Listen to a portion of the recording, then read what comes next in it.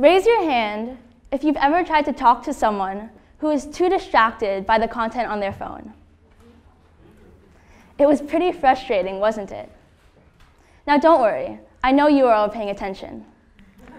But in actuality, I've had this situation happen to me many times, most recently over the holidays. This is my family. They live all over the country, but every year they come together to celebrate Christmas at my house. I was so excited to spend time with my cousins and catch up and play games with them. But unfortunately, everyone was so busy using their phones and their iPads that there is not much time for interaction with each other. Every time I tried to look for one of my cousins, they were always sitting alone in a room with their phone. It seemed that they would rather be on their devices than spend time with our crazy family. So I declared a no technology day for everyone in our house. This meant there would be no use of iPhones, iPads, laptops, or TV for an entire day. Now imagine going an entire day without even picking up your phone or sending, a, or sending a quick text or an email to someone. Most people wouldn't last. We have come to a society today where people use their phones without even realizing it. But everyone agreed to the No Technology Day, and I was ready to enforce it. So, what do you think happened? Well, first of all, I realized that it was so much harder to keep the adults off their phones than it was for the children. the adults always had some excuse as to why they needed to use their phone or their laptop. They claimed that they needed to send a quick email to someone because it was an emergency, or that they simply needed to catch up on the latest news on TV. But besides that, it was a great day. I was able to play flag football with my cousins, cook with my grandma and my aunts, and actually talk to my family. So my family went from looking something like this to this.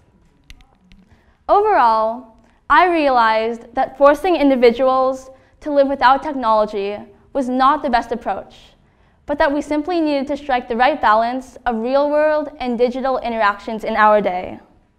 Because technology is in our lives and is here to stay. In fact, 67% of people in the entire world own a mobile device. There are so many benefits that come from technology, but without balancing it with real world interactions, social isolation will become a reality. So, it is important not to let the digital world take over your life as technology continues to advance.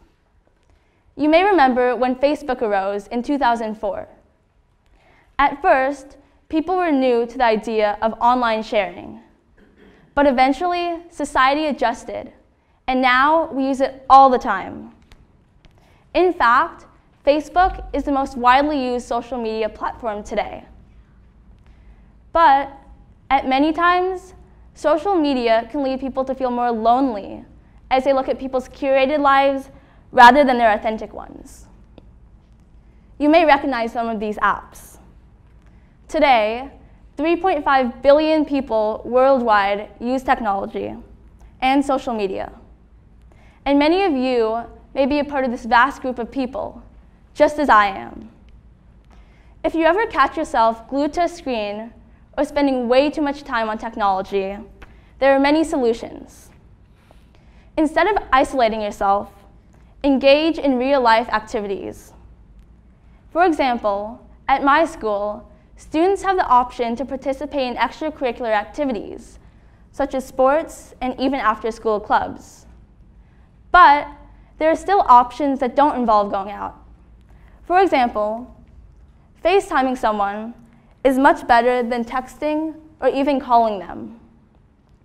Because without learning skills such as eye contact, body language, or tone of voice, people tend to shy away from social contact with others. For example, instead of going out to meet someone in person, many of you have probably gone straight to your phones to send a text instead. In this case, technology creates a dependency on devices in order to communicate. This online communication environment encourages people to keep to themselves making it seem okay to ignore face-to-face involvement. But in reality, you can't avoid in-person conversations. In fact, research shows that one face-to-face interaction is even more effective than 34 emails sent back and forth. So, by relying on technology to communicate, people limit their conversations to be less meaningful. This leads to feelings of loneliness because people feel that they have no one whom they can discuss important matters with. It is important to use technology as a tool for learning and communicating, but be sure to balance it with real-life interactions. Maybe even find a friend to hold you accountable for your screen time. I have my mom for that. But if we continue to grow apart from our friends and our family, then we will replace them with the screen. Undoubtedly, we have learned to live with our phones rather than without them. So don't let technology take over your life, but instead, try to engage in the activities that are available around you, just as I challenged my family to do over the holidays. Thank you.